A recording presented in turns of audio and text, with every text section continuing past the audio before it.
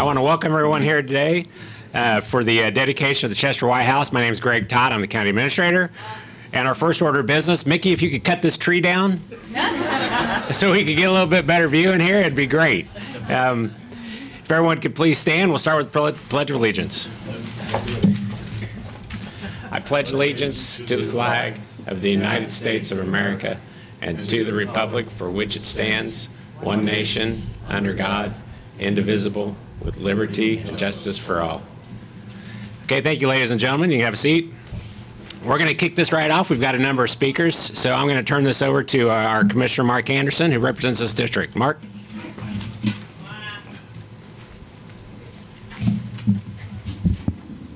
We have a, a, panel of speakers that are uh, very distinguished. I'm here uh, speaking for our county council, county commissioners. Uh, without uh, their help, uh, this wouldn't exist. And without the assistance of a lot of other people, this wouldn't exist. And it's a very uh, honor to be speaking for my colleagues at this momentous achievement. We continue in this county to demonstrate heart uh, heart, in my way, is measured as a community's recognition of human need, whether or not that need arises from unseen dangers like accidents, uh, uh, various other uh, events like tornadoes, uh, and that sort of thing. Uh, we mobilize our volunteer fire departments, volunteer fire departments, the county's emergency services, faith great groups, neighbors helping neighbors. there's a, a massive volunteer willingness to help. Your county government, as I mentioned, plays a key role in helping mobilize this in an organized fashion. Why do we do it? We do it out of compassion to meet the need as best we can, and in this case, so nobody is left behind. We're here to celebrate yet another uh, contribution to, con to our compassion by opening this facility, a near 3,000 square foot alternative living home, which will provide the best care for these county citizens with profound intellectual and physical disabilities. That care will give these people, our citizens, an individual quality of life not available elsewhere. Well, a question might ask or be asked, how did all this start? Well, like most success stories, it started small over 50 years ago by a person by the name of Bobby Ann Nash. And she was in Stevensville, a citizen in Stevensville. She correctly believed the quality of life many of us take for granted and is not the case for a number of our people and citizens, we should make those folks as productive and as happy as can be possible. She and several other families founded Guiding Hands, the start of what we see here today. It was to create a volunteer network of families to provide home care for their children and others that are afflicted with these disabilities. But she didn't stop there. A year later, a board was created, and it was created to go county-wide with this effort. This board obtained a tax qualification in order to promote fundraising. In 1979, a businessman, a generous businessman by the name of Thomas Ewing, donated three acres of property and a support facility was built to magnify the number of people that could be supported. As this new need grew and more people became aware, uh, the organization's capacity to meet that need also expanded. What we see here today is the next step in, pain, in maintaining the quality of life for these citizens, our citizens in our county. it was specifically designed to provide unique care necessary for the care of and the life quality of these clients. But it also helps the quality of care because the volunteers uh, have the necessary equipment that can facilitate that care.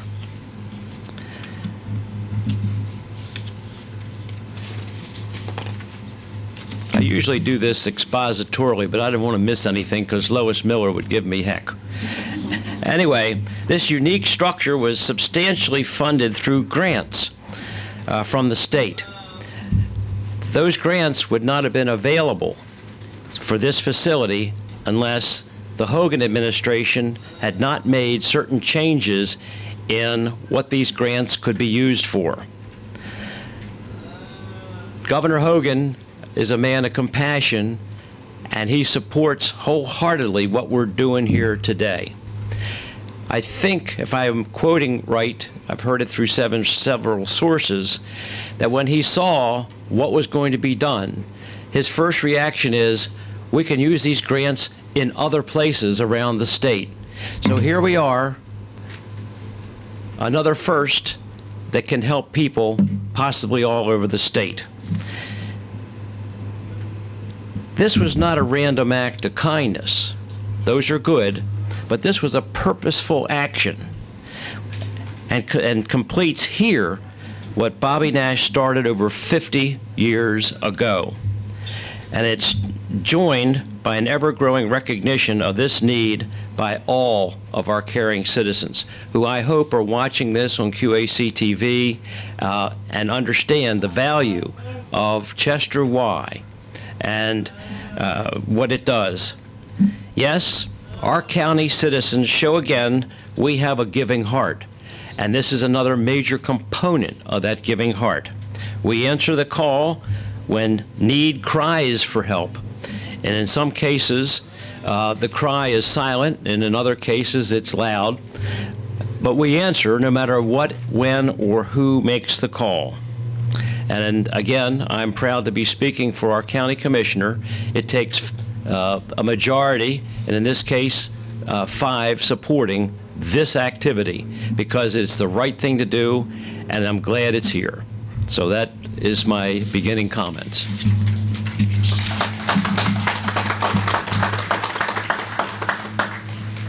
Okay, thank you, Mark. Appreciate those comments. Uh, next, we got Wheeler Baker, and Wheeler can probably tell the story better than I will, and he probably will tell it. But he came to me, oh, I guess it's been a year and a half ago or so, probably actually more than that, a couple years ago, and uh, asked if, if we had any sites that would be available for this type of housing. And I said, well, do I have a deal for you? we had just uh, we just gotten done going through the process with a homeless shelter that was not successful. So we had this property down here, and I thought it would be a great location for him. And I did know that he would run into some, uh, could run into some is, uh, issues with the residents. But after the first meeting and Deborah made her cookies, I think she bought her, she won everyone over. So, uh, so with that, I'm going to introduce Wheeler. So Wheeler, come on up.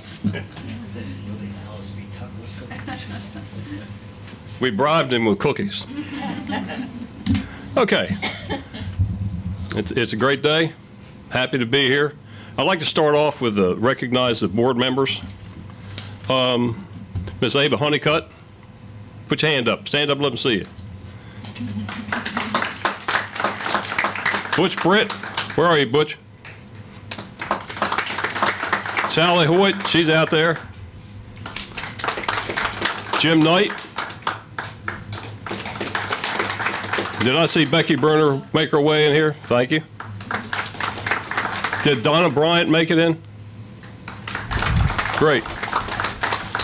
I'd also like to take this opportunity. When I came on the board years ago, I came on. Uh, Dr. Harry dragged me in here in, in 1979. When he gets his, when he got his claws into you, you worked. Buck, you know what I'm talking about. Um, I would also like to acknowledge our past uh, executive director and CEO, Ms. Mary Lou Boyd. She worked long and hard for this organization. At this time, although I've always already mentioned him, uh, the president of the Midshore Community Foundation, located down in Easton, Mr. Buck Duncan. Stand up, take a nod. They've helped us out every year. They've been good to us, and we truly appreciate it. Jack Smigo wanted to be here. He's, he just couldn't do it. Thanks to all that made this happen. Commissioners, the support staff, this just doesn't happen just waving your finger. It takes a lot of people for this to put it together. But as I mentioned, uh, Dr. Rhodes, he would be elated to see this. For those of you who don't know, Dr. Rhodes was a former superintendent of schools back in the 60s, 70s, and he saw, here comes another board member right there, Miss Diane coming up. He, he saw, he knew what, the- what the problem was with the people that need help. And Mary, uh, um, Bobby Ann Nash had a problem. Acknowledged the problem and went to work, and Dr. Rhodes helped her any way he could, and that was huge for our county. We didn't have anything to, we didn't have anybody to do anything like this. We didn't have facilities, and I, you got you got to admire the foresight of those two. They did a wonderful job. So here we are today.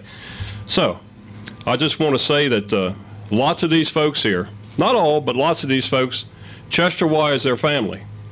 You know, you can just say, "But for the grace of God, there are I." Think about it. It's the truth, and they, they, uh, we try to give them a good life, and it's our job as board members to facilitate their well-being, make their lives as pleasant as could possibly be. Are there obstacles and problems? Sure, but we, we have a great staff, and we work with it. We work through them. Now, those of you who have not been in here, you're in for a real treat. Those that have been will no, this house is designed to handle the chronically disabled, people that really need some help. And one thing you don't want to forget about with that is the caregivers, the people that have to work with them. God bless them. I'm telling you, that's a heck of a job. But this, this tracking system in here is just terrific. It will help them immensely. I, I was just talking to someone out there, and we were talking about, has this been done in the state before with, with funds like this? It's my understanding that for the developmentally disabled, this is the first. So it's, it's a model for what can be done. So I'm telling whoever's responsible for this, bring your, bring your people from other counties, other states, doesn't make a difference. Bring them over here so they can see what is possible, what you can do to help, help your fellow humanity out. And we were happy, we were happy to work with the county and the state. And, but there's one thing, one person that needs a lot of recognition. There's lots of folks that worked on this, but one person that kind of melded it all together. You know, you got, you got to make these guys happy, and these guys happy, and then you got to make Chesterwye happy. It all's got to come together. Fellow sitting right here, the, the man that's- that's MC of this, Greg Todd, and give him a hand. Now, I'm not going to be, I've, I've I've said, I could stand here and talk to you for a while, but I'm not in politics anymore. I'm not going to do that. But I'm going to cite uh, a statement from one of the neatest, best politicians we ever had in, in this state. God bless you all real good. Thank you. Thank you, Wheeler. I appreciate those kind words. Uh, next, we got uh, Deborah's going to come up and speak, but before she does, I do want to take a minute to recognize some of our staff that worked on this. um, you know, it was it was a process to get through all this, and Mike Clark really spearheaded it. So, Mike, thank you. Uh, Mickey Lomax was in charge of making sure the construction was done right, except for this tree that's planted in the wrong spot. Mickey, that's fine. We won't hold that against you.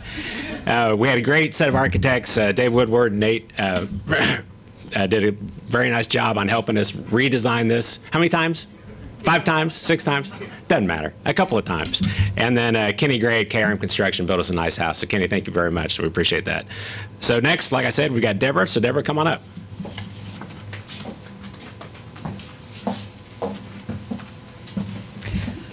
I can't tell you how pleased we are to have this home. And it is, as of yesterday, it was a house.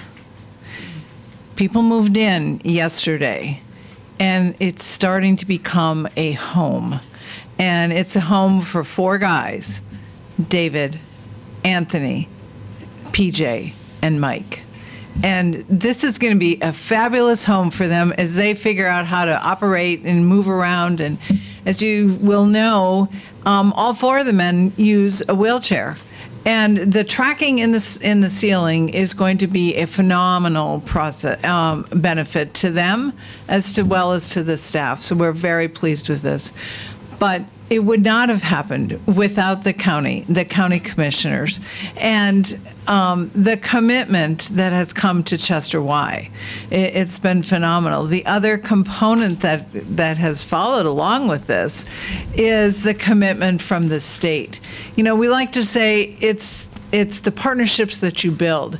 It's the community that we have been able to create. So we've been able to um, include KRM construction. As as um, Greg said, you know the Mans Woodward architects. We met every other week for over a year to tweak every little bit of it. Now, what do we think about this? What do we think about that? Now, mm, let's try something else. And always went back to the drawing board to see what else we could do to make things better. Um, and then once we've got the building going and and we have this beautiful house, um, then we had to move people in. And part of what we do is we are involved with the Developmental Disabilities Administration, and we can't just move people in. Everybody had to agree that they wanted to come. We had to get approval for people to transfer to this house. And I can tell you that this would not have been possible without the developmental disabilities of the Eastern Shore. And my big contact was a day who helped make this all happen and make sure everything was right. We had to get this place licensed. You're going to go through and think, there is a pantry in there with my goodness, how much food. Well, part of what we have to do is three days worth of food has to be non-perishable food has to be pre- prepared and available. So we did that. A day got us through the licensing. We had to make sure everybody came through, and so we've had a day with helping sure the the the money is there and the approvals are there, and so we've got a day. And I don't know who else. We have Kim Kashidal, who is the the head of DDA in the Eastern Shore. That's the Eastern Shore DDA, but we also have the Office of uh, Secretary of Disabilities from Governor Hogan's office here. And Governor Hogan's office, the Developmental Disabilities Office, have been fabulous in making sure that we were going forward. So we've got not only the state things, but we have all of the county com- components together. Mike Clark, Mickey Lomax. I tell you, I called them both on vacation and they answered their phones. You know, it was amazing.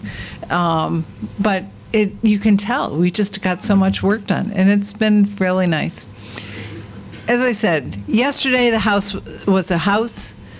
Today we're trying to make it a home as people moved in yesterday, and you're going to see things aren't quite in place. But you will notice that some people are Ravens fans and some people are Redskins fans. And oh boy, I can't imagine what the nights and the days are going to be like here, but that's okay. It's part of a home. So, again, thank you to everyone. And we really, um, you know, it's part of our my job. I really tried to help the community, the community neighborhoods, be aware of what was going on. And so I would um, send emails. I would call um, to a couple of the the folks, and we would make sure that everybody was involved and knew what was going on. We don't want surprises, so that's what we did. So we're very glad you're here, and I'm going to turn it over. Thank you.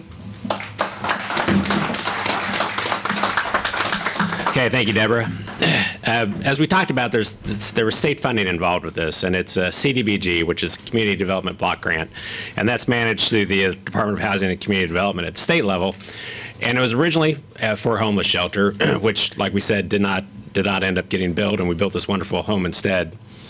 But there's one person that really worked with worked with us on that. Uh, you know, you hear a lot about you know problems with with bureaucrats and state employees county employees and they don't ever want to do anything and it's always no. Well our next our next speaker was a yes. Cindy was always yes. Anytime we came to her she said yeah let's figure out how to get that done. And it was very um, it was very refreshing to have someone at the state that was that willing to work with us.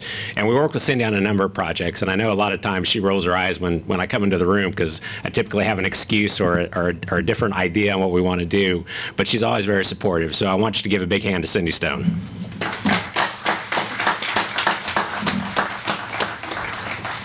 little eye rolling, little eye rolling.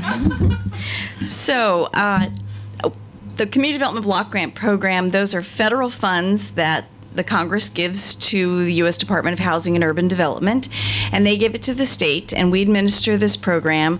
It funds a variety of activities and uses that benefit people. And so, my staff we love what we do. We do great projects, and this is one of those.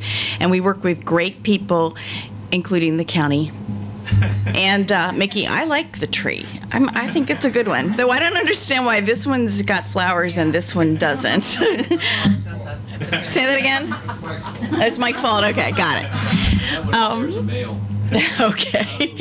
So anyway, um, you know, every parent wants to make sure that no matter what their age, that their child lives in a safe, decent house that they are taken care of. And every child wants to grow up and be completely independent of their parents and not live with them.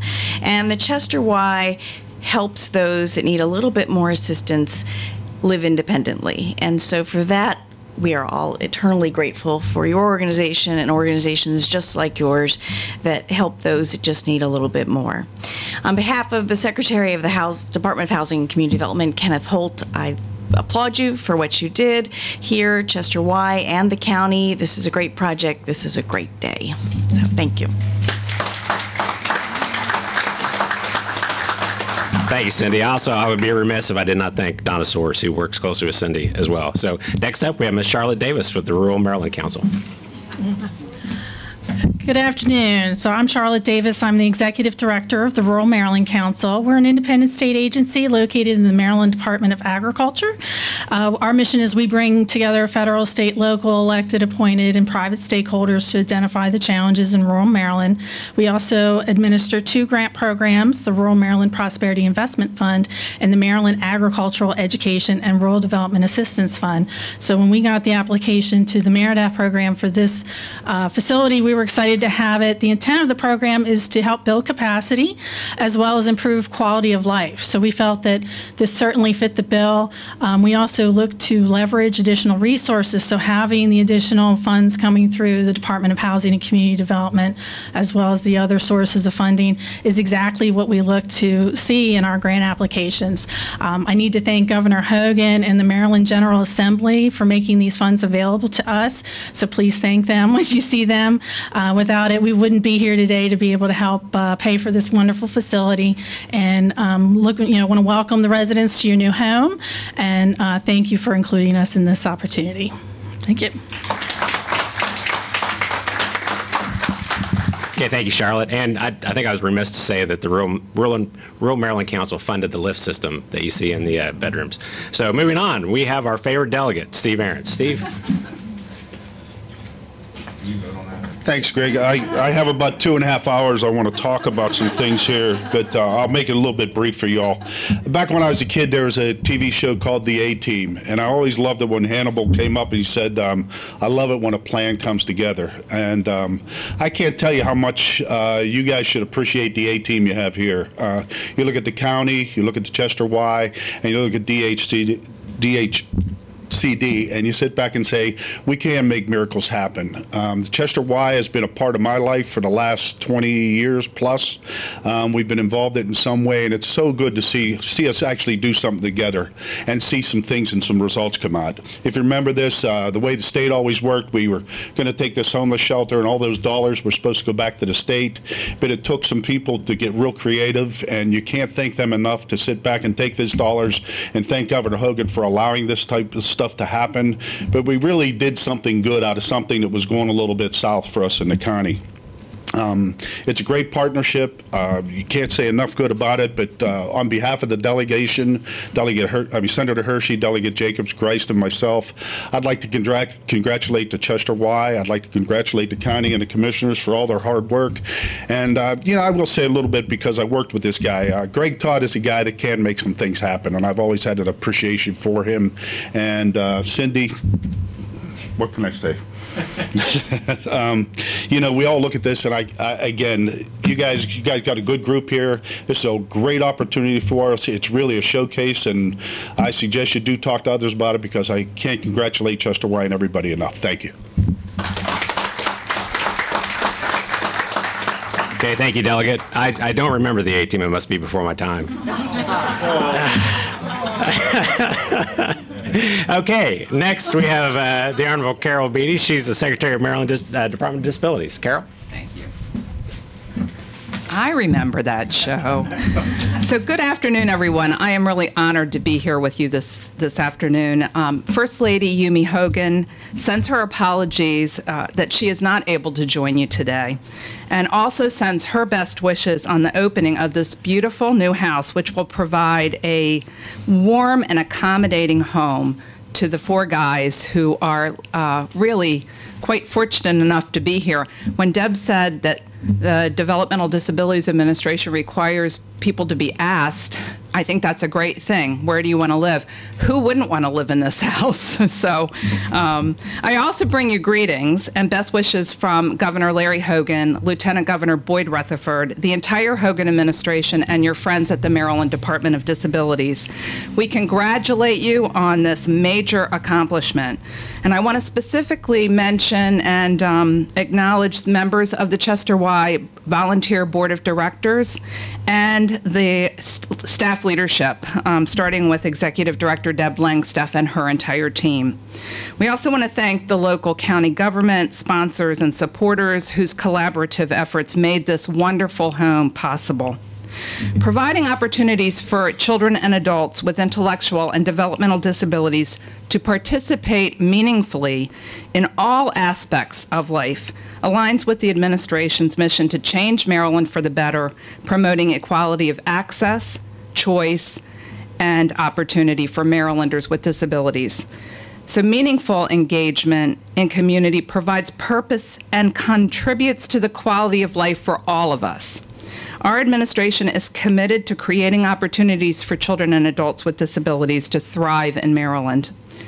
What is so impressive about this project is how strong and supportive a partnership developed that made building this home a possibility and a reality. And without those uh, part, without these partnerships or these uh, relationships, this would not be possible. The partners are almost too numerous to mention, but I think each one of the speakers um, acknowledged certain members of the partnership. And so I just want to say that our communities are really greatly st- strengthened when we all work together. And this is a perfect example of that kind of partnership that we look for all over the, the, state of Maryland. And you are truly changing Maryland for the better. Again, I'm thrilled to be here on behalf of the First Lady, Mrs. Yumi Hogan, and the Hogan Rutherford administration. We wish Chesterwye organization much success in the next step of your exciting future as an organization. Thank you. Okay, thanks, Secretary. Well, that just about does it. I think we're going to cut a ribbon. I do want to thank, I've got a, a couple other directors here. I think Mike's here from Planning and Zoning, Todd's here, and Kathy's here. They all uh, contributed to making sure that this project was successful. So, Michael, where do you want us for the ribbon cut?